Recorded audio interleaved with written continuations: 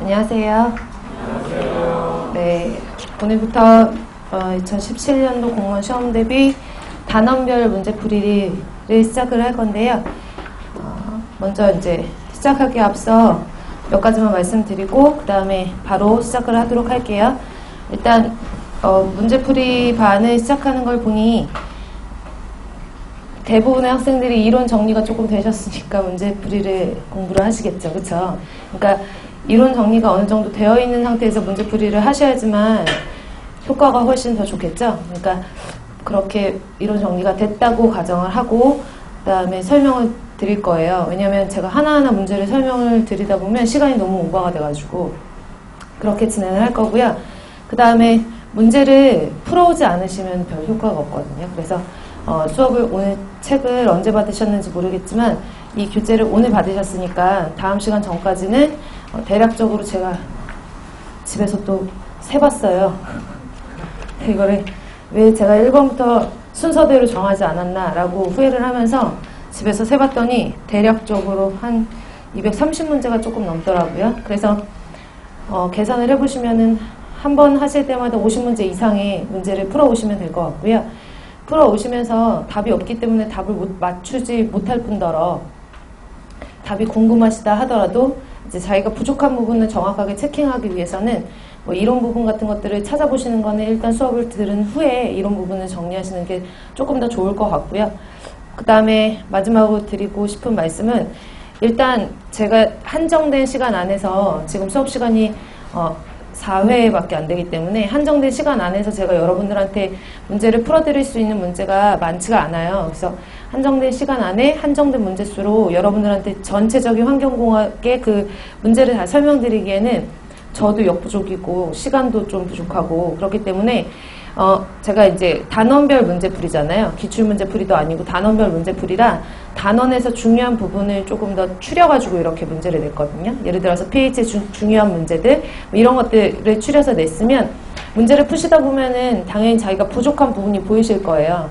예를 들어서 뭐 하천의 자정작용 부분에서 뭐 오늘 뒤에 보니까 나오던데 자정계수에 대해서 문제가 나왔는데 나는 그 문제를 틀렸다라고 하면 그 문제만 맞으셔서는 안 되고 문제 유형이 어떻게 바뀌게 나올지 모르기 때문에 그 부분의 이론을 조금 찾아서 복습을 조금 해 가시면서 정리를 하시는 게 제일 효율적인 방법인 것 같아요. 그래서 뭐 이론 공부를 다 하셨기 때문에 제가 이제 넘어가는 부분도 어느 정도는 이제 설명 생략하고 넘어가는 부분도 있을 텐데 그런 부분을 좀 스스로 여러분들이 찾아서 부족한 부분을 보완을 해 나가셔야 되거든요. 어쩔 수 없이. 그러니까 뭐 그렇게 진행을 하는 걸로 제가 이제 말씀을 드리고 그렇게 공부를 하시는 게 조금 효율적인 것 같다라고 말씀을 드린 거니까 개인차는 있잖아요. 본인은 이제 다른 방법이 더 편하시면은 그런 방법으로 하셔도 상관없지만 그래도 가장 좋은 효율적인 방법은 미리 문제를 풀어오시고 두 번째 풀어오신 문제에서 저랑 같이 문제를 풀다가 부족한 부분이 생기면 그 부분은 반드시 이론책을 보고 복습을 하도록 어, 하시면 될 것 같아요. 시작할까요? 그러면 1페이지 과정은 수질부터 시작해서 뭐 가장 많이 빈도수가 많은 확률적으로 나올 부분이 많은 과목 순서대로 썼어요. 그래서 수질 다음에 대기. 근데 문제를 보시면은 아시겠지만 문제 난이도가 아주 그렇게 높게 내진 않았거든요. 단원별 문제풀이 같은 경우에는 일단 기출 문제랑은 틀리게 어떤 부분에서 단원에서 좀 핵심적인 부분을 뽑는 걸 좀 목표로 했기 때문에 문제 난이도를 제가 꼬고 꼬고 하는 게 아니라 가장 여러분들이 기본적으로 알고 계셔야 되는 내용을 좀 정확하게 정리를 하고자 하는 문제라 일단 문제 난이도는 그게 그렇게 어렵게 되진 않았어요. 그러니까 푸시는 데는 어렵지는 않, 않으실 거예요. 그럼 1번부터 시작을 할게요. 수지로형 개론 파트의 수지로형 기초 부분은 간단하게 푸실 수 있는 계산 문제가 대표적으로 많이 나오는데요. 그 간단하게 푸실 수 있는 계산 문제가 실제로 여기에 제가 기출 문제에 다 수록하지 못했던 문제들도 단원별 문제풀이에 수록을 했거든요. 그래서 기출 문제 나왔던 것들도 있어요. 그래서 1번 같은 경우에도 기출 문제로 나왔던 문제인데 KMNO4예요. KMNO4면 과망한산칼륨이거든요. 그러니까 여러분들 아시겠지만 KMNO4, K2CR2O7, 다이크롬 산칼륨은 COD 실험할 때 산화제로 쓰이는 물질이고 이 산화제로 쓰이는 물질의 그람당량을 구하라고 했는데 그람당량의 의미는 처음엔 이렇게 깨끗하게 쓰는데 언제까지 이게 될지는 모르겠지만 처음에 정리를 하도록 할게요. 1당량에 해당하는 값을 그람 당량이라고 하거든요. 그러면 우리가 1당량 말고 1미리 당량에 해당하는 것은 그러니까 미리그램 당량이라고 얘기를 하는 거예요. 그러면 당량에 대해서 제가 뭐 이론 수업을 저한테 들으셨던 분들도 계시고 들지 않으신 혼자 공부하실 거나 아니면 다르게 공부 다르게 공부를 하신 분들도 계시겠지만 1당량은 그 물질의 분자량에 대략적으로 그람을 붙이면 이걸 그람 분자량이라고 이름을 붙이고 이 그람 분자량을 산화수, 가수, 원자가 이렇게 나눠주시면 되거든요. 그러니까 산화수, 원자가 이런 것들은 어, 다 들어보셨겠지만 칼슘은 뭐 이가, 망간은 아, 망간은 이가, 마그네슘은 이가, 뭐 있지? 칼륨은 일가, 나트륨 일가, 뭐 이런 식으로 얘기를 하는 그 원자가 산화수, 교환 전자수를 가지고 따지는데 얘는 밑에 있는 미리그램 당량은 1 미리 EQ라고 해서 동일하게 미리그램 분자량 나누기 가수로 계산을 할 수 있어요. 근데 이 가수는 교환 전자수를 의미를 하는 거잖아요. 근데 이거 외우고 계셔야 돼요. 시험장 가서 1분 1초가 아까운데 KMNO4의 교환 전자수를 따질 수가 없으니까 암기를 해놓고 계셔야 되는데 KMNO4 같은 과망한산 칼륨은 5가고요. 그 다음에 K2CR2O7 다이크롬산 칼륨은 6가예요. 그래서 이거 이론 시간에 제가 과망한산 칼륨과 다이크롬산 칼륨이 교환 전자 수가 왜 5개고 6개인지에 대해서 설명을 다 드렸거든요. 그래서 5가, 6가를 암기를 해 주시면 되고요. 그래서 KMNO4의 그람 당량을 구하시오라고 했으니까 KMNO4 1 당량은 분자량이 나왔죠. 158에다가 나누기 5가. 그래서 그람으로 붙여주시면 되는 거예요. 그래서 따라서 그 값은 얼마냐면 31.6 나오거든요. 그래서 정답은 2번이에요. 만약에 오늘 문제를 못 풀어오신 분들이 계실 수도 있잖아요. 오늘 책을 받으셨거나 그러시면 답을 교재에다 체크하지 마시고 다른 데다가 1번의 답은 뭐 2번 이런 식으로 써놓으시고 집에 가셔가지고 오늘 다시 한번 풀어보세요. 그러니까 오늘 다시 한번 원래 새로운 걸 공부를 할 때 그날은 열심히 하잖아요. 그쵸? 네. 오늘 푸시면은 아마 문제가 슬슬 잘 풀리실 수밖에 없거든요. 제 설명을 들었으니까. 그러니까 오늘 푸시면서 부족, 자기가, 근데 오늘 가셔서 복습을 하시면 본인, 본인이 부족한 부분 찾을 수가 없어요. 저 같은 경우에는 문제를 만약에 오늘 저랑 한번 풀었다라고 하면 한 적어도 2일이나 3일 정도 후에 사람은 누구나 다 망각을 하고 있으니까 조금 있으면 금방 잊어버릴 때 그때 다시 한번 풀어보시면은 본인이 부족한 부분 좀 보완을 하실 수가 있거든요. 그래서 만약에 오늘 교재 받으신 분들은 책에다가 답안 체크하지 마시고 별도로 체크해 놓으셨다가 다시 한번 풀어보시고 그 다음에 채점을 하시는 걸로 하면 좋을 것 같아요. 두 번째 볼게요. 5%의 NaOH, NaCl 염화나트륨의 몰농도를 구하라고 했는데요. 뭐 화학식량도 58.5라고 나와 있고 용액의 비중이 1이라고 나와 있어요. 여기서 여러분들이 아셔야 되는 거는 간단한 문제이긴 하지만 퍼센트의 의미도 알고 계셔야 되고 몰농도의 의미도 아셔야 되거든요. 그래서 첫 번째로 일단은 보시면 퍼센트라고 하는 거는 뭐 이론 시간에 weight per weight 퍼센트, volume per volume 퍼센트, weight per volume 퍼센트 이런 식으로 퍼센트 백분율의 종류에 대해서 설명을 드렸는데요. 문제상에 지금 보시면 퍼센트 옆에 아무것도 기재가 되어 있지 않은 상황이에요. 그래서 아무것도 써있지 않은 상태에서는 퍼센트는 무슨 퍼센트로 보냐면 weight per volume 퍼센트로 본다라고 공정시험 기준에 나와 있거든요. 따라서 5%의 NaCl이 있다라고 하는 거는 100ml 안에 몇 그램이 있다라는 거예요? 5g이 있다라는 의미예요. 그래서 100ml, 100ml 안에 5g의 NaCl이라는 용질이 들어가 있다라는 의미이기 때문에 이 100ml 안에 5g을 몰 농도로 붙여주시면 되죠. 그렇죠? 그러면 몰 농도라는 것은 몰 농도는 몰 per 리터를 의미하는 거니까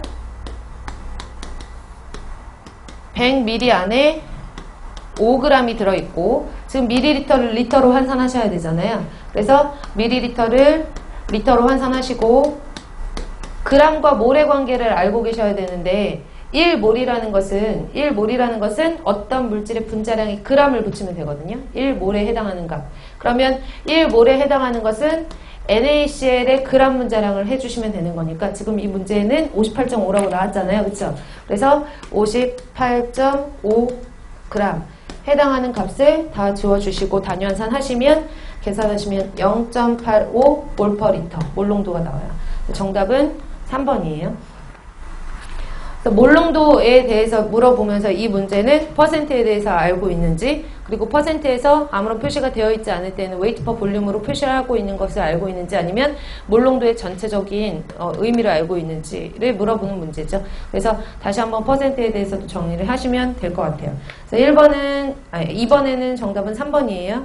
그 다음에 3번으로 넘어가시면 이거는 이제 환경보건이라는 과목을 보잖아요. 환경부 시험에서는 환경보건이라는 과목에서 나오는 문제고 사실상 환경공학에서는 환경공학에서는 화시온도 섭시온도 단위환산 문제는 거의 나오지는 않았었거든요. 근데 혹시나 몰라가지고 환경보건에서 한 몇 번 정도 출제가 됐다 해서 제가 이제 왜냐하면 환경보건에서 이론 시간에 이거는 환경보건 하실 분만 보세요라고 하면 환경공학 하시는 분들은 아예 배제하고 그냥 그래 나랑 상관없어 그러고 그냥 넘어가시거든요. 네, 혹시 모르는 거니까. 돌다리도 두드려보고 건너기 위해서 하나만 수록을 했어요. 30도씨라는 것은 도씨라는 것은 셀시우스법에 따라서 섭씨 온도를 의미를 하는 거고 이것을 화씨 온도로 환산하는 방법이거든요. 그래서 섭씨 온도를 화씨 온도로 바, 바꾸거나 아니면 화씨 온도를 섭씨 온도로 바꾸는 문제가 혹시라도 만약에 나오면 공식은 둘 중에 하나만 정확하게 외워두시면 돼요. 화씨를 외우시든지 섭씨를 외우시든지 지금 이 문제 같은 경우에는 화씨 온도로 고쳐라 라고 했기 때문에 저는 화씨 온도로 고치는 방법을 써 드릴게요. 여기 보시면은 화씨 온도로 고치시려면 섭씨 온도에다가 5분의 9를 하시고 더하기 31을 하시면 되거든요. 근데 이 공식 하나만 알아두시면 만약에 섭씨 온도를 주어지지 않고 화씨 온도를 주어지고 섭씨 온도를 구하라 라고 하면 여기다 화씨 온도 넣고 여기 구하시면 돼요. 그러니까 섭씨 온도, 화씨 온도 환산하는 거는 둘 중에 하나만 공식을 외우시면 되거든요. 섭씨 온도 공식은 따로 알려드리지는 않을게요. 지금 30도씨라고 했으니까 화씨 온도를 5분의 9 곱하기 30 더하기 32 그래서 5, 6, 36, 54에다가 32를 더하시면 되겠죠? 그래서 화씨 온도로 보시면 86도가 돼요. 그래서 정답은 1번이에요.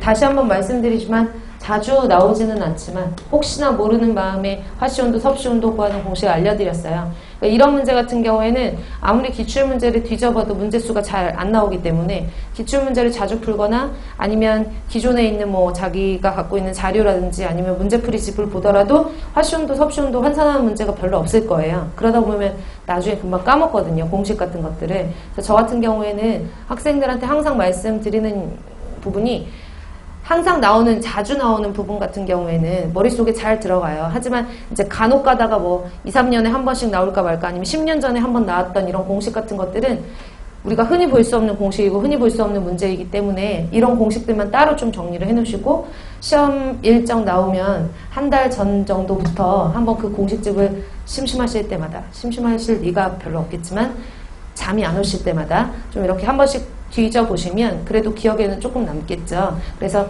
이런 공식들은 그렇게 따로 정리를 해놓으신 게 좋을 것 같아요. 3번의 정답은 86이고요. 4번 볼게요. 0.23%를 바르게 나타낸 것은 이라고 했어요. 그래서 문제의 요지를 보니까 퍼센트와 ppm과 pphm, ppb 이런 관계들을 확인을 하는 문제거든요. 그래서 이런 시간에 다 설명드린 부분이지만 우리가 퍼센트라고 하면 100분율이라고 얘기를 하거든요. 그리고 PPT 그럼 parts per thousand이라고 해서 1000분율이라고 얘기를 하고 ppm 100만 분율, ppHM은 1억 분율, ppb는 10억 분율 이렇게 얘기를 해요. 그래서 퍼센트, PPT, ppm, pphm, ppb 지금 이 문제를 푸시는 데는 ppm과 ppb만 알면 되지만 이왕 정리하는 거 한번 쏙 정리를 하도록 할게요. 그래서 얘는 100분율이라고 그랬어요. 그쵸? 그러면 분율이라는 것은 분율이라는 것은 다른 말로 비, 뭐 레이티오라고 얘기를 해서 몰비도 있고 몰비, 부피비, 질량비, 중량비 이런 식으로 나타내거든요. 근데 이 분율이라는 것 곱하기 100을 하면은 퍼센트가 되는 거고. 그쵸? 이론 그러니까 여기서 저한테 그런 눈길을 보내시면 이게 무슨 말이지? 분율이 뭐지? 기억이 안 나는데 이러면 제가 이 문제를 갖고 10분을 설명을 해야 되거든요. 그러다가 지난번에 망해가지고 1시간 반을 연가하니라고. 분율이라는 것은 어떤 용액 중에 용질이 들어가 있는 걸 같은 단위로 나타낸 그 비율이라고 생각을 하시면 돼요. 비. 그래서 분율이라고 하는 거에 아이, 이러면 안 되는데 마음을 굳게 먹고 왔는데 중량비 이런 식으로 나타내거든요. 그러니까 몰비 같은 경우에는 어떤 용액 중에 보통은 용액 중에 용질이 들어가 있는 걸 따지는데 아래 위로 용액 1몰 중에 용질이 몇 몰 들어있냐 이런 식으로 이렇게 비율을 나타내는 걸 몰비라고 얘기를 하는 거고 부피비는 용액 중에 용질이 들어갔는데 다 부피로 나타내면 그러니까 용액 100ml 안에 아니 그러니까 용액 1ml 안에 용질이 몇 ml 들어가 있느냐 이런 식으로 같은 단위로 나타내면 그 부피비가 되는 거예요. 무슨 말인지 가시죠? 근데 부피 비건 몰- 뭐 중량 비건 몰 비건 간에 얘가 만약에 용액 중에 용질이 들어갔는데 위에도 뭐 리터, 밑에도 리터라고 했어요. 얘가 부피 비죠. 그쵸? 여기다 곱하기 100을 하면 부피 100분율이 되는 거예요. 그래서 부피 퍼센트, 볼륨 per 볼륨 퍼센트 이렇게 표현을 하는 거죠. 이해 가시죠? 그러니까 뭐 여기서 나와 있는 내용을 다시 한번 보시면 퍼센트는 이런 분율 곱하기 100을 한 거고요. 그 다음에 PPT라고 하는 거는 8, 80% 같은 경우에는 천분율이니까 분율 곱하기 1000을 한 거고 10의 3승 얘는 분율 곱하기 100만 분율이니까 10의 6승을 한 거고 얘는 분율 곱하기 1억이니까 10의 8승을 한 거고 얘는 분율 곱하기 10의 9승 10억 한 거거든요 그 이 관계를 따지셔야 돼요 근데 우리가 1에 뭐 여러분들 뭐 많이 아시겠지만 가장 많이 쓰는 단위원상 기호가 1%는 10의 4승 ppm 이건 알고 계시는데 1%몇 ppt야 1%몇 ppb야 이러면은 버떡버떡 안 올라오잖아요. 그러면 그냥 단순하게 지금은 전 설명드리기 위해서 다 분류를 썼지만 얘가 몇 승 관계만 있는지만 따지시면 돼요. 근데 이 상관 관계를 다 이렇게 지워보시면 되거든요. 분류를 다 지워주시고 얘를 아, 얘를 다 지워야 되니까 1%라고 기준을 했을 때 동그라미 두 개씩만 삭제하면 되잖아요. 그쵸? 그러면 1%는 두 개 지우면 10ppt가 되는 거고 1%는 동그라미 두 개 지우면 10의 4승 ppm이 되는 거고 그 다음에 1%는 동그라미 두 개 지우면 10의 6승 ppbhm이 되는 거고 얘는 10의 7승 ppb가 된다. 이렇게만 한 줄만 딱 쓰시면 뭐 이거 쓰는데 저는 설명하느라고 오래 걸렸지만 얼마 안 걸리거든요. 그러니까 이런 식의 단위원상 문제가 나오면 한번 쭉 쓰신 다음에 다 지워주시고 몇 승 관계가 있는지만 따져보시면 돼요. 지금 이 문제 같은 0.23%라고 나왔거든요. 그럼 얘가 0.23%니까 0.23%는 10 곱하면 2.3 ppt가 될 것이고 10에 4승하면 2300 ppm이 될 것이고 그 다음부터 숫자 좀, 좀 크니까 0.23 곱하기 10의 6승 pphm이 될 것이고 마지막에 0.23 곱하기 10의 7승 ppb가 될 거란 말이에요. 그러니까 한 줄만 위에 있는 것만 딱 정리를 하시면 밑에 있는 건 어떤 단위원산 인자가 나오더라도 다 단위로 환산을 하실 수가 있죠. 그래서 이 문제를 가지고 다시 한번 퍼센트 ppt, ppm, 그 다음에 pphm, ppb의 관계를 조금 정리를 해보시면 좋을 것 같아요. 그래서 거기에 정답은 몇 번이에요? 3번이죠? 2300ppm만 맞고 ppb, ppm 다 틀렸기 때문에 정답은 3번이에요. 5번으로 넘어가서 pH에 관련된 문제인데요. pH에 관련된 문제도 되게 여러 가지 형태로 문제가 출제가 되죠. 그래서 4번, 5번 같은 경우 4번은 pH에 대한 공식에 대한 정리를 하기 위해서 낸 문제고요. 5번 같은 경우에는 pH 정의, pH 의미에 대해서 알려드리기 위해서 낸 문제예요. 그리고 뒤로 가시면 이제 pH와 관련된 완충 방정식, 핸더슨 하세발리의 완충 방정식도 어떻게 보면 pH와 연관이 있는 부분이기 때문에 그런 부분들의 pH에 좀 필요한 문제들만 하나하나 뽑아가지고 설명을 드릴 거예요. 그러니까 첫 번째 다섯 번, 아니 5번 문제를 보시면 pH 2짜리와 pH 6은 수소이온 농도가 몇 배 차이 나는가라고 했어요. 이 문제는 pH 공식 모르시면 못 푸시잖아요. 당연히 pH 공식을 모르시는 분들은 없으시겠지만 pH라는 것은 수소이온 농도 지수로 pH는 수소이온 농도의 역수의 상용대수 값으로 계산을 하거든요. 보통 이제 정의를 나타낼 때에는 수소이온 농도의 역수의 상용대수 값 이렇게 얘기를 하는데 이 수소이온 농도가 대괄호로 되어 있는 경우에는 몰 per 리터라는 단위를 써요. 그래서 여기는 나와 있지는 않지만 수소이온의 농도는 몰 per 리터라는 단위를 대입을 하셔야지만 pH 값이 나온다라는 거 알아두시고 지금 이 문제에서는 pH 2짜리와 pH 6의 수소이온 농도가 몇 배 차이가 있느냐라고 물어봤기 때문에 수소이온 농도를 풀어야 되는 거예요. 역으로 그쵸? pH는 제시가 됐고 수소이온 농도를 푸셔야 되는데 푸시는 방법 다 아시거나 아니면 공식을 다 외우고 계셔야 되죠. 수소이온 농도는 10의 마이너스 pH로 계산이 되거든요. 네, 수소 얘는 다시 쓰면은 수소이온의 마이너스 1승이 될 것이고 로그 그쵸? 마이너스 1은 로그 법칙에 따라서 앞으로 내려올 수 있으니까 얘가 마이너스 이렇게 되면 pH거든요. 그래서 여기 마이너스를 이쪽으로 이항시켜서 마이너스 이항시키면 마이너스 pH는 로그 수소이온이고 수소이온은 따라서 10의 마이너스 pH라고 계산을 할 수가 있는 거예요. 산수적으로 보면 그래서 여기다 대입을 하면 수소이온 농도 같은 경우에는 10의 마이너스 pH 몰 퍼 리터가 되는 거죠. 그럼 pH 2짜리와 pH 6짜리를 비교를 해보면 pH 2짜리는 pH 2짜리의 수소이온 농도는 10의 마이너스 2승이 될 것이고 pH 6짜리는 10의 마이너스 6승이 되겠죠. 그래서 이거 나눠주시면 돼요. 몇 배 차이가 있느냐 물어봤으니까. 그쵸? 그래서 몇 배 차이가 있어요? 10의 4승 차이가 있죠. 따라서 정답은 만배 차이가 있다라는 걸 찾으시면 돼요. 그 다음에 6번으로 넘어가셔가지고 다음 중 pH에 관한 설명으로 맞는 걸 찾아라 라고 했어요. 그래서 1번 같은 경우에는 산도가 높을수록 부식성이 강해진다라고 했거든요. 그러니까 산도라는 것은 산도가 높으면 높을수록 수소이온의 정도가 많다라는 것을 나타내는 거고 수소이온의 농도가 높다라는 것은 그만큼 pH가 낮다라는 걸 의미를 하는 거잖아요. 그래서 산도가 증가한다라는 것은 그만큼 pH가 낮아진다라는 것이고 pH가 낮을 때에는 산성 부식에 의한 부식성이 강해진다라고 알아두셔야 되죠. 그 일반적으로 이제 환경적으로 따지면 수질이 산성이면 부식성이 커지고 염기성이면 항상 그렇진 않지만 대체적으로 염기성이었을 때는 산성이면 수소이온이 많지만 염기성이 OH-이온이 많거든요. 그 OH-이온이 많으면 각종 무기염류, 그러니까 칼슘이라든지 마그네슘이라든지 이런 무기염류와 결합을 해서 수산화물 침전 형태로 존재를 해요. 그러니까 수산화물 침전 형태로 형성이 된다라는 것 자체가 수산화물이 형성이 되면 얘네는 물에 잘 안 녹는 물질로 변하는 거죠. 난용성 아니면 불용성이 되는 거죠. 따라서 물에 녹아있는 상태가 아니라 침전할 수밖에 없는 거예요.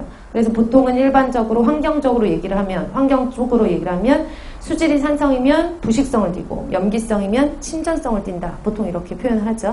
그래서 참고적으로 봐두시고요. 두 번째로 알칼리도에 대해서 나와 있는데 알칼리도는 산을 중화시킬 수 있는 완충 능력을 말하는 거잖아요. 그쵸? 그래서 알칼리도는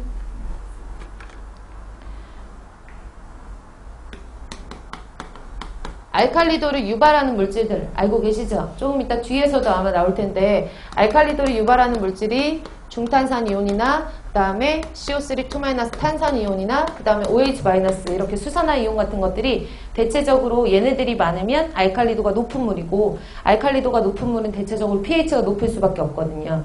그러니까 앞에서 얘네들이 물 속에서 수질에서 어떻게 분포하는 분포 정도를 아마 그래프를 한 번씩은 다 보셨을 거예요. 그래서 저한테 이론 수업 들으셨던 분들은 제가 어떻게 암기를 하라고 알려드렸는데 직사각형을 그리고 X축이 pH라고 가정을 하면 pH 7을 중심으로 원래는 여기가 정확하게 그래프를 따지면 7은 아니에요. 8에서 9 정도 사이거든요. 약 알칼리성 사이인데 외우시기 편하게 중간을 pH 7로 잡고요. 그 다음에 산성 쪽의 기준을 pH 5 정도로 잡고 알칼리성의 기준을 아니, pH 9 정도 그러니까 579잖아요.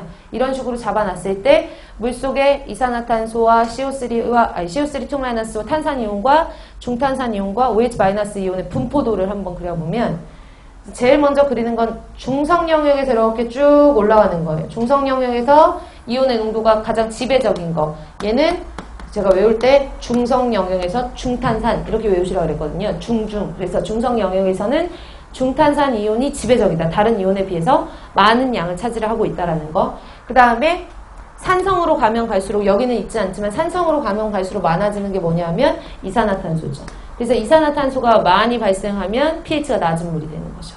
그 다음에 pH가 올라가면서 형성량이 많아지는 거는 CO3 2-가 되는 거고 그 다음에 OH- 같은 경우에는 pH가 10 이상에서만 존재할 수 있는 pH 10 이상에서만 존재하는 물질이거든요. 얘가 OH- 이렇게 그러면 이것만 제대로 기억을 해놓으셔도 알칼리도를 유발하는 물질들이 보통 중탄산이온, 탄산이온, OH- 가 알칼리도 유발 물질이라고 했잖아요. 보고 계시죠? 그러면 보통 지금 보시면은 pH 5 이하, 그러니까 정확하게 말하면 pH 4.5 이하에선 중탄산 이온이 존재를 할 수가 없어요. 그러니까 pH 4.5 이하에서는 거의 대부분 이산화탄소로 존재를 하는 형태이고 pH 4.5 이상에서는 중탄산 이온이 존재를 했다가 pH가 뭐 높아지면 전반전자 알칼리성이 되면 중탄산 이온에서 탄산 이온으로 변화가 되고 탄산 이온에서 OH- 이온 같은 것들을 생성하면서 pH가 대체적으로 어떤 물이 돼요? 높은 물이 되거든요. 그래서 결론적으로는 알칼리도와 pH는 대체로 무슨 적이다? 비례적이다. 비례다. 이렇게 보시면 돼요. 비례한다. 그래서 알칼리도가 증가하면 pH는 어떻게 된다? 높아진다. 알칼리도가 높으면 pH는 비례한, 대체로 비례 관계를 띈다라고 알아두시면 되고요. pH와 pOH와의 관계 나와 있는데 pH와 pOH 합이 14죠. pOH는 수산화 이온 지수로 얘가 수소 이온의 역수의 상용대 수값 그러면 pH라고 하는 것처럼 pOH는 수산화 이온의 역수의 상용대 수값으로 계산을 하시면 되는 거니까 간단하게 곱이 아니라 합으로 고치셔야 되고 4번 보시면 수소이온 농도의 상용대 수값 어 맞네 라고 생각할 수 있지만 수소이온 농도의 역수의 상용대 수값이기 때문에 틀리죠. 정답은 1번이에요. 그래서 문제가 보시면 제가 처음에도 말씀드렸다시피 문제를 난이도 있게 내는 게 목표가 아니었어요. 단원별 문제는. 그래서 뭐 모의고사 같은 경우에는 문제를 꼬고 꼬고 나중에 실전 모의고사 같은 경우에는 이제 문제를 조금 더 응용시켜서 제가 낼 수 있지만 단원별 문제풀이는 일단 그 목적은 아니기 때문에 정리를 하는 목적으로 하는 거니까 난이도가 낮다고 어, 너무 쉽다 이렇게 생각하지 마시고 의미 하나하나 지문 하나하나를 조금 정리를 한다라는 생각으로 공부를 하셔야 돼요. 그래서 여기까지 하시면은 기본적으로 이제 기초 단위 같은 경우에는 정리가 되어 있다라고 보시면 되고 그 다음에 물의 특징, 물의 물리화학적 영향 인자에서 1번 같은 형태도 시험 문제의 기출로 나왔던 문제 형태예요. 그래서 다음 중 물의 물리적인 특성을 나타내는 용어들이다. 단위가 잘못된 것은 그래서 뭐 물에 물에다만 쓸 수 있는 건 아니지만 뭐 밀도라든지 동점성 동점성 계수, 압력 점성 계수 여기는 나오지 않았지만 비중이라든지 비중량 이런 것들을 전반적으로 정리할 수 있게끔 낸 문제거든요. 그러니까 여기 나와 있는 지문에 있는 것만 생각하지 마시고 물에 대한 물리적인 어떤 상수값들 있죠. 비열 같은 거 기억하세요? 물의 비열이 크잖아요. 표면 장력도 크고 융해열도 크고 맞아요? 기화열도 크거든요. 그러니까 뭐 그렇게 아주 디테일한 수치까지 나오지는 않을 테지만 적어도 저는 이제 이론 시간에 비열은 외워두시라고 했어요. 비열, 비열은 물을 어떤 물질 1g을 1도씨 올리는데 필요한 열량이라고 이제 보통은 알고, 싶, 알고 계신데 보통 0도씨의 물을 1도씨 올리는 거랑 0도씨에 있는 물을 0에서 1도씨 올리는 거랑 14도씨를 15도씨를 또 올리는 거랑 그 다음에 20도씨의 물을 21도씨로 올리는 데랑 필요한 열량이 틀리거든요. 비열이라는 것을 정확하게 말하면 어떤 물질 1g을 14.5도씨에서 15.5도씨로 1도씨 올리는데 필요한 열량을 비열이라고 얘기를 해요. 그래서 비열이라고 하면 지금 물리의 물리적인 형상은 아니지만 어, 물리적인 어떤 성질을 나타낼 수 있는 계수값으로서 물성 상수로서 비열이라고 치면 1 칼로리 퍼 그람 도씨 이렇게 나오거든요. 가로 열고 몇 도씨라고 나와야 되냐면 15도씨 이렇게 나와야 돼요. 보통 여기 20도씨로 나오니까 여러분들 이거 기억 잘 안 나시면 다시 여기 나와 있는 동점 성계수 밀도 이것만 보지 마시고 물성 상수 같은 거 융해율도 한번 확인해 보시고 기화열도 한번 확인해 보시고 표면 장력도 한번 확인해 보시고 그래서 그런 것들도 좀 정리를 해 보시라고 낸 문제니까 찾아서 정리를 해 보시고요. 그럼 하나씩 볼까요? 첫 번째로 보시면은 물의 물리적인 성질을 나타내는 용어들이 다 단위가 잘못된 것은 밀도 같은 경우에는 첫 번째 나와 있는 밀도는 단위 체적당 질량이잖아요. 그쵸? 그래서 이 정의만 아시면 단위는 굳이 외우지 않으셔도 정의만 아시면 다 맞추면 되거든요. 위에는 질량이니까 킬로그램, 그램, 뭐 미리그램 어떤 거든 상관없어요. 질량 단위 들어오시면 되고 밑에는 부피 단위니까 부피를 뭐 리터라고도 쓸 수 있고 예를 들어서 얘가 킬로그램이다 라고 하면 부피는 난 리터로 쓰겠다. 얘도 밀도 단위가 되는 거고요. 킬로그램을 쓰겠다라고 하면 미터의 3승 얘도 밀도 단위가 되는 거고 그램 썼다라고 하면 센티미터의 3승 이런 것들이 다 밀도 단위가 되는 거니까 위에는 질량 단위가 나왔고 분모에는 어, 부피 단위가 나왔는지만 확인을 해보시면 되는 거예요. 그럼 1번 같은 경우에는 정답이죠? 그쵸? 아, 정답이 아니라 단위가 잘못된 게 아니죠. 단위가 올바르게 된 거고요. 두 번째 보시면 동점성 계수라고 나와요. 그래서 이거는 뭐 이 문제뿐만 아니라 서, 어, 구급 기출 문제로 상당히 많이 나왔던 동점성 계수가 정답이었던 문제로 상당히 많이 나왔고요. 그리고 뭐 아시다시피 기사라든지 수질환경 기사라든지 산업기사 문제에서도 동점성계수는 계속 언급되는 부분이기 때문에 정확하게 알고 계셔야 돼요. 동점성계수라는 것은 다른 말로 동점도라고도 하죠. 동점도 같은 경우에는 제가 외울 때 동점도는 뭐를 점도를 밀도로 나눌 값이다 이렇게 외우시라고 그랬어요. 그래서 동점도는 점도를 밀도로 나눈 값이다 라고 했거든요. 그러려면 이제 요거를 단위환산을 물론 외우고 계신 분들은 뭐 센티미터의 제곱 per sec나 미터의 제곱 per sec가 동점성계수의 단위다 외우고 계시겠지만 외운 게 헷갈릴 때는 풀 수밖에 없거든요. 한 문제라도 정확하게 맞으려면 풀 수밖에 없는데 푸는 방법은 위에 있는 점도 단위와 밑에 있는 밀도 단위 나눠주시면 돼요. 그쵸? 그러면 아까 조금 전에 밀도를 먼저 했으니까 밀도를 아래다 쓸게요. 밀도 단위 중에서 킬로그램 per 미터의 세제곱이라는 밀도 단위가 있어요. 맞죠? 킬로그램 per 미터의 세제곱. 밀도로 나눠줘야 되니까 밑에서부터 시작을 하는 거고 위에는 점도 단위가 나와야 되는데 점도 단위 중에서 지금 보시면 얘는 MKS 단위잖아요. 킬로그램과 미터와 sec로 이루어진 단위를 우리가 MKS 단위라고 하거든요. 그러니까 점도도 MKS 단위를 보면 점도의 단위는 뭐예요? 킬로그램 per 미터 sec거든요. 기억하세요? 그래서 외우실 때 제가 점도는 CPK다 이렇게 외우라고 그랬거든요. 점도는 CPK다. 의미가 뭐냐면 여기서 점도는 CPK인데 K가 점도 단위에서 제일 많이 쓰는 거예요. 킬로그램 per 미터 sec라는 단위고요. P라는 단위는 점도 단위 중에 포이즈라는 단위로 줄여서 얘기하는 건데 얘보다 한 단계씩 작게 쓰면 돼요. 킬로그램보다 작게 쓰면 그람, 미터보다 작게 쓰면 센티미터, sec 이런 단위가 사실 잘 헷갈려요. 어쩔 수 없이 계속 달달달 입으로 계속 말씀하셔야 돼요. 점도는 CPK다. K는 킬로그램 per 미터 sec다. 킬로그램 per 미터 sec. 포이즈는 그램 per 센티미터 sec가 되는 거고 얘는 센티 포이즈잖아요. 그쵸? 센티 포이즈는 얘보다 작게 쓰면 되거든요. 그래서 미리 그램 per 미리 미리 미리미터 sec 이렇게 쓰시면 돼요. 그래서 점도 단위 중에서도 이왕 나눠줄 거 MKS 단위끼리 나눠주시면 여기는 킬로그램 지워주고 미터 미터 지워주면 미터의 제곱 per sec라는 단위가 나오거든요. 그쵸? 동점성 계수의 단위는 미터의 제곱 per sec처럼 위에는 길이의 제곱이 나와야 되고 밑에는 시간이 나와야 돼요. 그러니까 미터의 제곱 per sec 해도 동점성 계수고요. 센티미터의 제곱 per sec 해도 동점성 계수의 단위고 미리미터의 제곱 per sec 해도 동점성 계수의 단위인 거예요. 이해 가세요? 어. 그러니까 동점도의 단위는 나머지는 여러분들이 CGS 단위는 집에 가셔서 해보시고 동점도의 단위는 센티미터의 제곱 per sec 미터의 제곱 per sec 이런 것이 동점도 단위인데 그 중에서 동점도와 관련 있는 일반적인 단위 중에서 센티미터 제곱 per sec 같은 경우에는 일명 스토크라고 얘기를 하죠. 그래서 어떤 문제 같은 경우에는 다음 중 동점도와 관련이 없는 것은 이렇게도 나오거든요. 동점도와 관련이 없는 것은 1번 센티미터의 제곱 per sec, 뭐 2번 점도 밀도, 뭐 3번 스토크 아니 3번 스토크 뭐 이렇게 나오고 4번 뭐 다른 거 얼토당토 않은 거를 만약에 나왔다라고 하면 스토크라는 게 보통 우리가 스토크 법칙으로 알고 계시는데 스토크라는 건 센티미터의 제곱 per sec라는 동점성 계수의 단위를 축약해서 스토크라고 부른다라는 것까지 알아두시면 좋을 것 같아요. 그래서 동점도의 단위 센티미터의 제곱 per sec인데 지금 문제상에 센티미터 per sec의 제곱이라고 나왔기 때문에 틀렸죠. 센티미터 per sec의 제곱, 뭐 가속도의 단위, 뭐 이 정도 되겠네요.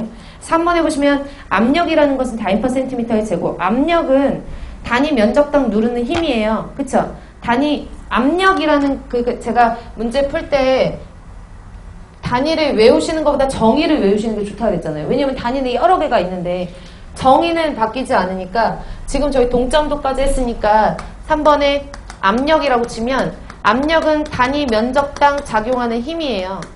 그래서 위에는 힘의 단위가 오면 되고 밑에는 면적 단위가 오면 되거든요. 예를 들어서 미터의 제곱에 면적 단위를 썼다. 그럼 위에는 뉴턴이라는 힘을 단위를 쓰면 되는 거고 만약에 센티미터의 제곱을 썼다라고 하면 위에는 다인이라는 힘의 단위를 쓰면 되는 거고 맞죠? 아니면 미터의 제곱 단위 면적당 작용하는 힘을 킬로그램 중이라는 중량으로 나타내도 작용하는 힘으로 나타낼 수 있, 고 그래서 뭐 압력을 나타낼 수 있는 단위는 여러 가지죠. 그리고 뉴턴 per 미터의 제곱이라는 것은 파스칼이라는 단위로 축약할 수 있고 압력을 공부하시면서 압력이 잘 헷갈린다라고 하시는 분은 여기서 더 나아가서 1기압에 해당하는 단위 환산 값을 쭉 정리를 해 놓으시면 되겠죠. 1기압은 760mm Hg 1332 미리미리 H2. 그래서 수주 수은주는 기본이고 이거를 킬로그램중 per 센티미터의 제곱으로 킬로그램중 per 미터의 제곱으로 여러 가지 압력 단위로 표시하는 방법 있잖아요. PSI 같은 파운드 square 인치, 파운드중 per 인치 제곱이라는 PSI 단위로 붙이면 14.7이다. 이런 것들도 기본적으로 나올 수 있으니까 제가 지금 다 써드릴 수는 없으니까요. 집에 가셔가지고 압력 단위 기억 안 나시면 압력 단위 확인하기 이렇게 하- 하시던가 아니면 1기압에 해당하는 압력 단위 확인하기 이렇게 써놓으시면 다시 복습을 하실 수 있거든요. 그래서 복습하시고요. 그러면 압력도 단위 면적당 작용하는 힘, 다인이라는 거는 뉴턴이라는 단위보다 작은 단위예요. 그래서 다인 per 센티미터 제곱 그러면 압력 단위 맞죠? 길이당 작용 아니 길이당이 아니라 단위 면적당 작용한 힘으로 압력 단위 맞고 그 다음에 네 번째로 점성 계수 나왔는데 점성 계수를 다른 말로 점도라고 하고 조금 전에 제가 설명드렸다시피 점도는 뭐라 그랬죠? CPK다. K가 킬로그램 per 미터 sec라고 외우시면 포이즈나 센티포이즈는 그거보다 작게 단위를 줄이시면 되기 때문에 간단히 쓰실 수 있다 그랬잖아요. 그래서 킬로그램 per 미터 per sec를 한 단위씩 줄이면 그램 per 센티미터 sec가 되고 만약에 이거 그램 per 센티미터 sec를 줄여가지고 뭐라고 나올 수도 있어요. 포이즈라고 나올 수도 있어요. 그러니까 여러 가지 단위들을 좀 정리를 하시면 될 것 같아요. 정답은 2번이에요. 이 한 문제만 국한하지 마시고 여기에 나와 있는 모든 단위환산 인자들을 좀 정리를 하시는 시간을 가지실 수 있으시면 좋겠고요. 이 한 문제로. 그 다음에 2번으로 넘어가서 산소가 물에 용해될 때 잘 보셔야 돼요. 산소가 물에 용해될 때. 산소는 난용성 기체잖아요. 그쵸? 근데 난용성 기체인데 수질에서는 빠져서는 안 되는 기체 중에 하나죠. 왜냐하면 수처리할 때 생물학적 처리에 주된 처리 작용이 호기성 처리를 많이 쓰는데 호기성 처리에서는 반드시 산소를 필요로 하기 때문에 산소를 물에 용해, 일부러 용해시키는 경우가 많아요. 그래서 인위적으로 물에다 산소를 공급하는 반응주로 폭기주라고 얘기를 하는데 이때 산소를 물에다가 넣어줄 때 물 속의 산소 전달 속도가 빠를 조건을 찾으라는 얘기예요. 물 속의 산소 전달 속도가 빠를 조건. 무슨 말인지 가세요? 즉 현재 DO가 높을 조건이 아니라 산소 전달 속도가 빠를 조건을 찾으라는 얘기거든요. 그러면 물이라는 것은 물이라는 것은 물 속에 녹아 있는 산소가 용존 산소 dissolved oxygen DO라고 하면 물 밖에 있는 산소는 O2잖아요. 그쵸? 근데 자연계에는 항상 화학 평형을 맞추려고 하기 때문에 공기 중에 있는 산소가 만약에 물 속에 산소가 부족하면 물 속에 만약에 녹을 수 있는 산소가 정해져 있단 말이에요. 이거를 우리가 포화용존 산소라고 얘기를 하죠. 포화용존 산소가 만약에 10ppm인데 현재 녹아 있는 산소가 얼마인가 봤더니 9ppm이래요. 1ppm밖에 안 부족하잖아요. 산소 전달이 잘 일어나지 않거든요. 근데 만약에 10ppm이 녹을 수 있는 물에 현재 산소가 얼만큼 있나 봤더니 0ppm이래요. 그럼 산소가 완전 부족한 상태이기 때문에 뭐가 일어나냐면 공기 중에 있는 산소가 물 속으로 전달 속도가 빨라지는 거죠. 이게 제폭이죠. 일반적인 자연적으로는 제폭이라고 하지만 인위적으로 만약에 공기 중에 있는 산소가 들어가는 게 아니라 내가 공기 탱크에서 인위적으로 넣어준다라고 하면 폭이나 폭기라고 얘기를 하는 거예요. 이해 가시죠? 어쨌든 산소를 전달하는 거에서는 물속에 산소가 부족하면 부족할수록 물속에 산소가 부족하면 부족할수록 그러니까 현재 녹아있는 DO가 어떨수록 낮을수록 산소 전달 속도가 빨라지는 거예요. 그럼 물속 DO가 낮으려면 용존 산소가 낮으려면 물이 깨끗해야 돼요, 더러워야 돼요. 더러워야 돼요. 그쵸? 그래서 불순물이나 염분의 농도는 높을수록 산소 전달, 속- 산소 전달 속도가 빠른 거죠. 무슨 말인지 가세요? 요 두 가지만 알아두시면 되고 나머지는 보세요. 공기방울을 넣어줄 때 인위적으로 넣어줄 때 공기방울이 큰 거와 공기방울이 작은 게 있어요. 큰 게 있고 작은 게 있다라고 하면 누가 산소 전달이 더 잘 돼요? 작은 거예요. 왜 그러냐면 어, 큰 게 표면적이 더 크잖아요. 라고 하는데 표면적을 비교를 할 때는 비표면적이라고 해서 당연히 얘가 공기방울이 크니까 표면적이 클 수밖에 없잖아요. 비표면적이라는 것은 동일 부피당 표면적이 어떻게 되느냐를 비교를 하는 거거든요. 그래서 동일한 부피 내에서 누가 표면적이 더 크냐? 기포가 작을수록이에요. 그리고 물이 그냥 정체되어 있는 경우에는 위에는 물이라는 건 산소는 잘 물에 녹지 않, 않는다고 했고 그리고 위에 있는 수표면 같은 경우에는 지금 공기와 맞닿아 있기 때문에 충분한 산소를 공급, 공급받을 수 있지만 심수층에 있는 경우에는 만약 깊은 곳에 있는 경우에는 물이 혼합되지 않은 이상은 산소가 전달이 잘 안 되거든요. 그러니까 물이 만약에 윗부분에만 집중이 산소가 윗부분에만 집중이 되어 있는 상태에서 물이 혼합되지 않으면 산소 전달이 잘 일어나지 않아요. 그렇죠? 그러니까 산소 전달이 잘 일어나려면 물의 교란이 어때야 되고 교란 흐름이 있어야 되고 그러니까 교란 흐름이 있다라는 것을 다른 말로 표현을 하면 난류 형태여야 되고 맞죠? 측류는 그냥 가만히 있는 상태인데 난류 같은 경우에는 혼합이 되는 상태니까 그럼 교란 흐름이 있고 난류가 있는 상태여야지만 된다고 했으니까 하천이라고 치면 하천의 9배 경사도는 어떨수록 좋아요? 커야지 유속이 빨라지고 그만큼 혼합이 크, 커지니까 유속은 빠를수록 그쵸? 그리고 하천 바닥이 맨질맨질한 것보다는 하천 바닥이 거칠면 거칠수록 그만큼 어떤 물의 흐름이 혼합이 더 잘 되거든요. 그래서 하상 거칠기, 하상의 거칠기가 클수록 하천 바닥의 거칠기가 클수록 뭐가 많아진다고요? 산소 전달 속도 빨라져요.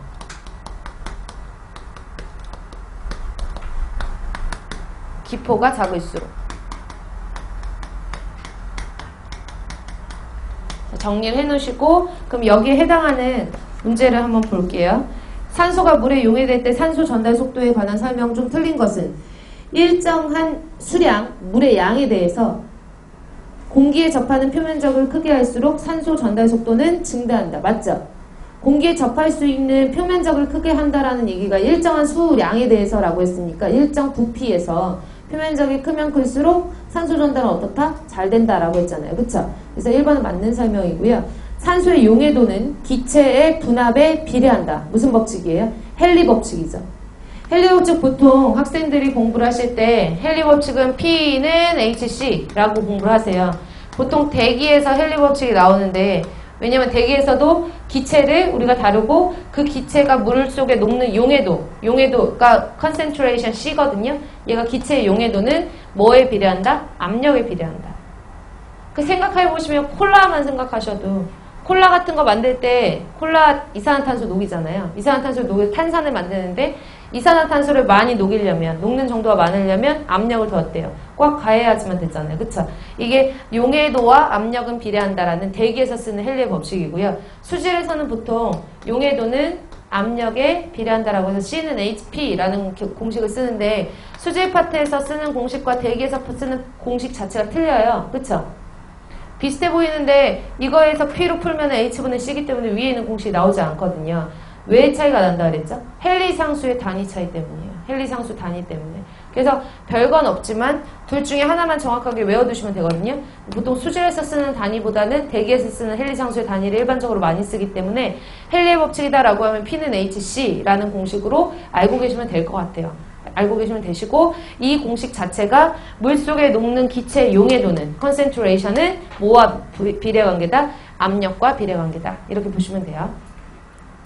그래서 산소의 용해도는 기체 분압에 비례한다. 헨리의 법칙을 말하는 거고 3번에 보시면 불순물이 젖대요. 물이 깨끗하죠. 물이 깨끗하니까 물속에 산소가 어때요? 많은 편이고 산소가 많은 상태에서는 산소 전달 속도가 느릴 수밖에 없어요. 그쵸? 불순물이 적을수록 산소 전달 속도가 증가하는 것이 아니라 불순물이 많을수록 산소 전달 속도가 증가된다. 이런 식으로 고치셔야지 맞는 설명이죠. 이거를 다른 말로 표현을 하면 산소가 부족한 양을 한번 따져볼까요? 제가 아까 수치적으로 설명을 드렸는데 산소가 만약에 10ppm 녹을 수 있는 물에 현재 1ppm밖에 없다. 그럼 산소가 얼마 부족한 거예요? 9 부족하다라는 건 포화 용존 포화 DO에서 현재 DO를 뺀 거잖아요. 포화 DO에서 현재 DO 뺀 값이 커야 돼요? 작아야 돼요? 클수록 산소가 그만큼 부족한 양이 많다라는 거기 때문에 그만큼 산소 전달 속도가 빠르다.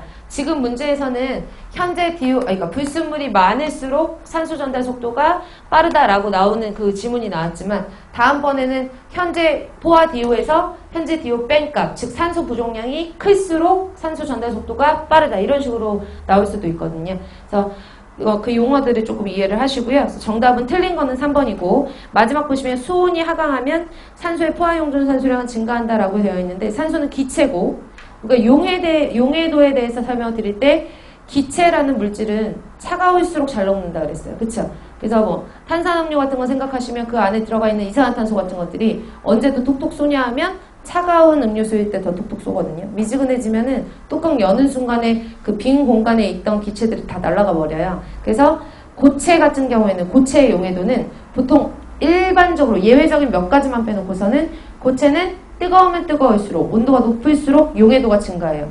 잘 생각해 보시면 고체 가장 대표적인 소금이라든지 설탕이라든지 이런 것들 보시면 뜨거운 물에 더 잘 녹잖아요. 그쵸? 그래서 고체의 용해도는 온도가 증가할수록 온도가 증가 높을수록 용해도가 증가하지만 기체의 경우에는 반대로 온도가 낮아야지만 용해도가 증가한다. 그래서 4번도 맞는 설명이에요. 그래서 2번으로 가지고 여러 가지 산소 전달 속도라든지 현재 DO라든지 뭐 불순물 뭐 이런 관계들을 조금 따져보시는 계기가 됐으면 좋겠어요. 그래서 이번에 정답은 3번이에요.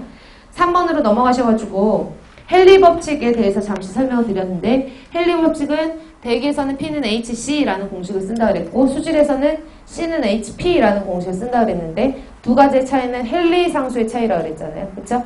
그래서 헨리 법칙에 잘 적용되는 기체가 아닌 걸 찾으라 그랬는데 이런 헨리 법칙은 난용성 기체에만 적용을 할 수가 있어요. 그래서 난용성 기체를 찾으셔야 되거든요.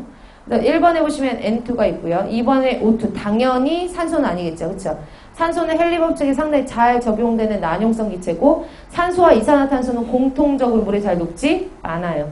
그래서 산소, 이산화탄소 1번에 있는 질소까지도 물에 잘 녹지 않은 난용성 기체에 해당이 되거든요. 3번에 있는 암모니아 같은 경우에는 암모니아 가스가 발생하면 주변에 물만 있으면 암모니아 수를 형성할 정도로 상당히 용해도가 높은 용해도가 높은 물질이에요. 그래서 정답은 난용성이 아니 그러니까 여기서 보시면 수용성을 찾아야 되는 거잖아요. 헨리 법칙에 잘 적용되지 않는 기체는 이라고 했으니까 잘 녹는 기체를 찾으시면 돼요. 그래서 암모니아라고 나왔는데 암모니아 말고 또 뭐가 있을까요?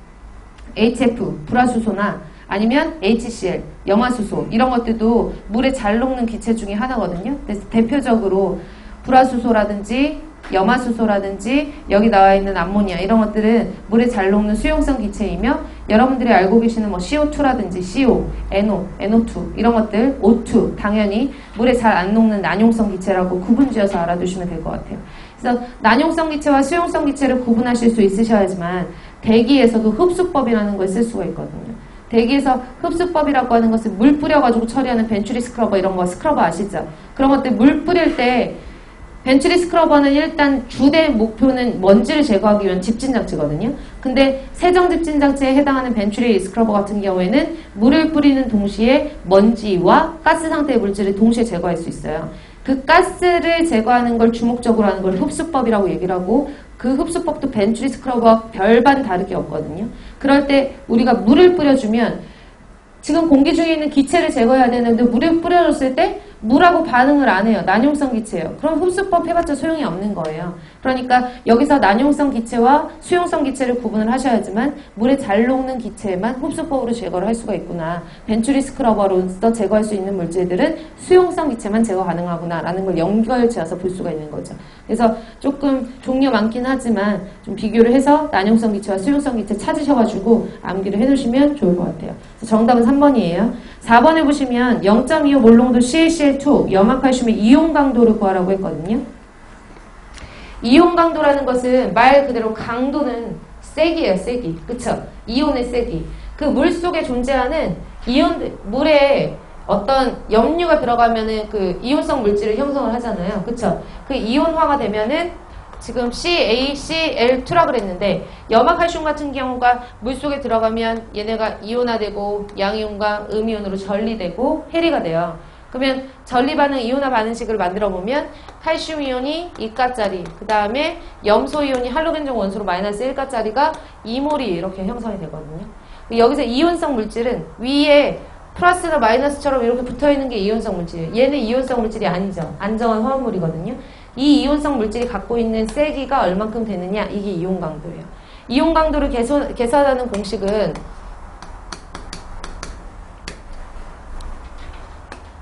이온 강도를 계산하는 공식은 보통 뭐 뮤라고도 쓰지만 뮤라고 아, 모르셔도 돼요. 이온 강도는 이렇게만 알아두시면 되거든요.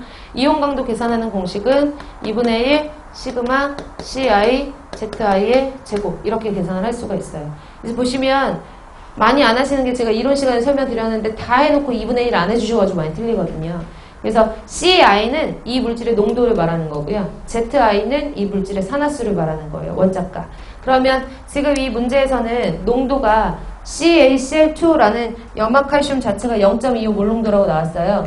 지금 판서와 내용을 보시면 이온화 반응식에서 얘가 1 몰농도 있을 때 칼슘이 이온화되면 몇, 몇 몰롱도가 이온화가 되고 1 몰롱도가 이온화돼서 생성이 되고 염소이온은 2 몰롱도가 생성이 되거든요. 1대 1대 2예요. 그러면 지금 CaCl2가 0.25 몰롱도라고 했으니까 1대 1이니까 칼슘도 0.25 몰롱도에 이온화돼서 형성이 될 것이고 염소 이온은 2 곱하기 0.25 몰롱도 이렇게 형성이 될 거예요. 무슨 말인지 가시죠? 그러면 이온성 물질의 몰롱도가 나와 있으니까 이 몰롱도를 여기다 대입하시고 가수만 곱해주시면 시그마 값은 나오고 전체 값에 나누기 2를 해주시면 되죠. 그쵸? 그래서 여기다가 0.25 곱하기 칼슘은 2가니까 2의 제곱 더하기 2 곱하기 0.25 염소는 마이너스 1가의 제곱이에요. 어차피 다 제곱을 하기 때문에 절대값으로 들어가거든요. 다 플러스 값만 나오니까 정리하시고 0.25에 4배 하시는 거잖아요. 그쵸? 그럼 얘는 1이 나올 테고 2 곱하기 0.25 하면은 0.5 나오거든요. 그래서 0.5 그럼 얘가 1.5예요. 많은 학생들이 여기까지만 딱 풀고 1.5라는 답을 찾죠. 원래 제가 이제 보기를 쓸 때 1.5를 써야 되는데 안 썼네요. 치다가 귀찮았나 봐요. 그래서 보통 이제 출제자도 그 문제를 그 부분들을 알아요. 2분의 1을 해주지 않는 학생들의 습성들을. 그래서 1.5라는 값을 항상 넣죠. 헷갈리지 않으시게 반드시 앞에다가 2분의 1을 써주시고 시작을 하셔야 되거든요. 그래서 1.5를 반으로 나눠주시면 0.75. 그래서 정답은 이온 강도의 정답은 0.75 이렇게 하시면 돼요. 정리되셨나요? 그래서 이온 강도에 관련된 문제도 구급 시험에서 지금 보시면 아시겠지만 제가 이 수치를 일부러 오늘 새로 오신 분들은 좀 적응을 하실 시간이 필요하실 텐데 저희는 늘상 있는 일이라 그래서 여기 보시면은 어, 문제 자체가 난이도가 높지가 않잖아요. 그러니까 이 문제 이용 강도 공식도 간단하고 제가 이제 문제를 만들 때 웬만하면은 구급 시험에서는 올해는 안, 아니 올해가 아니라 작년은 안 그랬거든요. 그러니까 원래 그 전에까지 기출문제 풀어보시면 답이 딱딱 떨어지거나 아니면 손으로 수기로 계산을 하더라도 손쉽게 계산할 수 있는 문제 형태로 나왔기 때문에 저는 그런 지금까지 2015년도까지 나왔던 그런 문제 형태를 따라서 답이 좀 딱딱 떨어지게 일부러 수치들을 만들었어요. 작년 한 해는 뭐 소수점의 연속이었죠. 저 같은 사람은 산수 때문에 시험 문제를 찍고 싶을 만큼 소점을 계산을 해야 되는 문제들이 나왔거든요. 그래서 조금 귀찮으시더라도 손으로 연습하는 것들을 계속 하셔야 돼요. 손으로 나누기도 하고 곱하기도 하고 하셔야 되는 그 속도가 빨라져야지만 문제 푸는 속도가 빨라질 수 있기 때문에 계산 문제가 우리는 뭐 보통은 다 공학도 아니겠어요? 그 계산기가 있는데도 불구하고 손과 머리를 써야 된다라는 가장 최대의 약점을 가지고 들어가셔야 되기 때문에 간단한 거는 그때그때 이제 연습을 조금 하시고 계산기 사용하지 마시고 이제 시험 날짜 정해져 그러니까 정 어쨌든 몇 월 달인지는 대략적으로 다 감을 잡고 계시고 뭐 4월 달에도 시험 있잖아요. 그렇죠? 그러니까 아무래도 좀 정리를 하시고 문제를 푸실 때마다 계속 산소 같은 경우에도 계속 손으로 푸시는 연습을 하세요.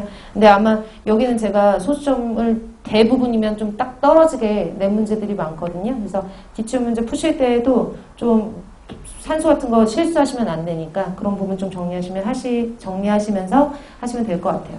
잠시 쉬었다가요. 5분부터 연결 지어서 할게요.